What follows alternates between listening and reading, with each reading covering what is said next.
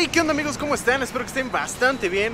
Yo soy Andy Castillo y sean bienvenidos a un nuevo video. Bueno, hoy estamos con los chicos de Vento aquí en un lugar llamado Corvo porque hoy van a presentar una motocicleta, una nueva motocicleta, así que acompáñenme a ver toda esta develación. Creo que aquí se puede ver, pero yo se los voy a estar guardando hasta el momento idóneo.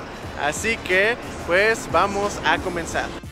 Y así comenzaba la noche en este bonito lugar llamado Corvo, donde iban a presentar la nueva motocicleta. Me encontré también a muchos compañeros y amigos, colegas, motobloggers que también estaban cubriendo el evento. Creo que ya tenía mucho tiempo sin ver a tantos amigos reunidos en un solo lugar y eso pues estuvo muy muy padre. La encargada de presentarnos esta motocicleta fue nuestra amiga Andrea Echegoyen que nos deleitó con unas grandes palabras y una gran presentación presentación para esta motocicleta.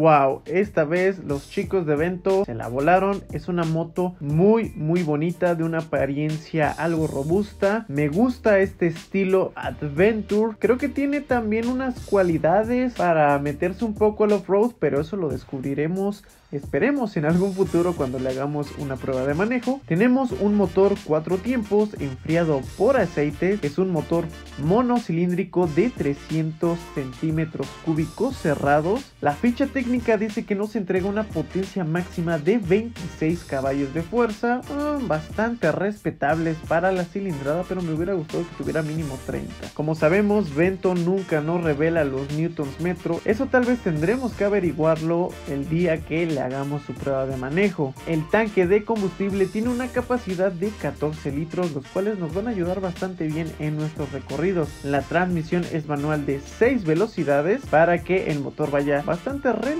cuando vayamos en carretera. La altura del asiento es de 81 centímetros, un poquito alto para algunas personas Así que ten en cuenta esto si es que te quieres armar esta motocicleta. El peso de esta moto en seco es de 150 kilogramos. Así que una moto ligera no lo es para que también lo tengas en cuenta. En el apartado de la suspensión tenemos horquilla hidráulica invertida y en la parte trasera tenemos un monoshock, doble freno de disco para tener unas frenadas mucho más precisas. La medida de las llantas son 180 RIN 17 en la llanta delantera y medida 140 70 RIN 17 en la parte trasera. Y hablemos de las características destacadas de esta moto. Es que tiene un puerto USB, alarma con encendido a distancia, muy característica ya de la marca Vento. Tablero digital, eso fue un punto muy bueno, un punto a favor a comparación de su hermana, pues bueno, si se le puede considerar así, su hermana, la Vento GT 250, que me decepcionó bastante que tuviera un tablero análogo. Pero afortunadamente los chicos de Vento corrigieron eso y ahora tenemos un tablero digital. La iluminación de esta motocicleta es full LED. En toda la motocicleta vamos a encontrar la tecnología LED y también incluye unos sliders con unas exploradoras. A mi parecer es una motocicleta que de apariencia se ve muy muy bonita, me agrada. Debo admitir que el precio de salida de esta motocicleta yo me lo imaginaba un poquito más elevado pero no sé si fue por promoción de lanzamiento que nos dieron un precio de 56 mil pesos mexicanos un gran gran precio para una motocicleta de 300 centímetros cúbicos. Muy muy bueno. Tal vez empiece a subir un poco. Otra cosa que incorpora esta moto es el sistema Ventec que pues básicamente es como un control bluetooth. Aquí dice que tienes que tener un casco especial de Vento que viene con la tecnología Ventec que supongo que adentro tiene unas bocinas y tú los puedes ir controlando con el mando que ya viene en la motocicleta para poder hacer tus llamadas, moverle a la música, etcétera, etcétera, etcétera. Y también ya viene con un portacelular incluido desde agencia. Pero ojo, tal vez tú te preguntes que si este sistema solo sirve con los cascos Ventec. No,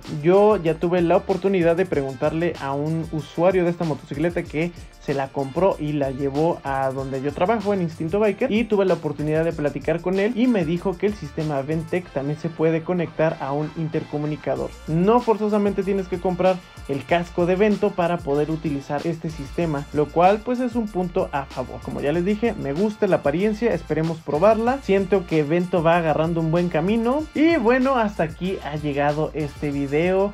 Muchas gracias por llegar aquí. Comenta qué te pareció esta motocicleta. ¿Te agradó? ¿Te gusta? ¿Te la comprarías? Tal vez en algún momento se pueda, pues podamos compararla, ¿no? Con sus competidoras directas un poquito. Yo creo que en el segmento obviamente se podría enfrentar a la Itálica BX 250, aunque esta es 300 y la anterior es 250. Con la Dominar 400 Touring tal vez. Con la BMW G310 GS, aunque la otra se eleva muchísimo de precio, puede que esta sea una gran alternativa. Si te gustó este video, por favor dale like y compártelo con un amigo para que conozca esta bonita alpina y pues a ver si se convence en comprársela. Suscríbete a este canal si no lo has hecho y pícale a la campanita para que YouTube te notifique cuando yo suba nuevo video. Recuerda seguirme en mis redes sociales, te las voy a estar dejando aquí en el comentario fijado. Sígueme en Instagram como Andisney Castillo, ahí te va a estar enterando mucho antes que aquí en YouTube qué cosas estamos haciendo, en qué eventos estamos y qué motocicletas estamos probando. También pásate al bonito TikTok, ahí hacemos videos ocurrentes y divertidos sobre motocicletas, ahí también me encuentras como Andy Castillo. Y por último, pásate a la página de Facebook, ahí me encuentras como Andy Castillo 7. Por mi parte, eso ha sido todo por parte de esta bonita Alpina que esperemos probarla muy muy pronto. Muchas felicidades a la marca Vento por este nuevo lanzamiento. Yo soy Andy Castillo y nos vemos hasta el próximo video. Chao.